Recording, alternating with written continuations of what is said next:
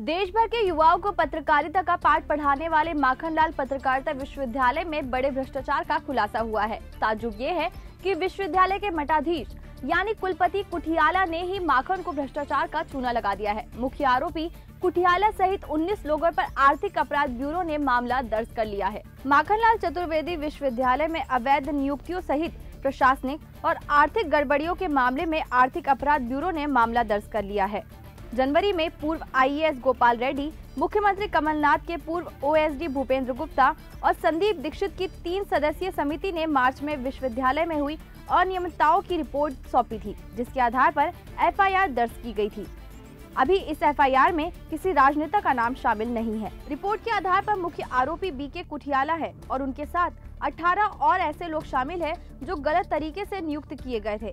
इनमें अनुराग सीठा, P Shashikala Pavitra Srivastava, Avinash Vajpayee, Arun Kumar Bhagat, professor Sanjay Dwivedi, doctor Monika Sharma, doctor Kanchan Bhatia, doctor Manoj Pacharia, doctor Aarti Sarang doctor Ranjan Singh, Surendra Pal, Saurabh Malviya Surya Prakash Pradeep Deharia, Satyendra Deharia, Gajendra Singh Awashay doctor Kapil Raj Chandoriya और रजनी नागपाल के नाम शामिल है। इनमें से doctor पवित्र श्रीवास्तव और doctor Aarti Sarang की नियुक्ति दिग्विजय सिंह के कार्यकाल में हुई थी।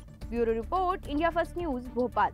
आप हमें फेसबुक और यूट्यूब पर भी मैसेज कर सकते हैं। India first news Google Play Store पर भी उपलब्ध है। तो आज इस ऐप को डाउनलोड करें और बेल आइकन दबाकर हमें सब्सक्राइब करना ना भूलें। हमसे जुड़े रहने के लिए हमारे चैनल को सब्सक्राइब करें और लेटेस्ट अपडेट के लिए बेल आइकन पर क्लिक करें।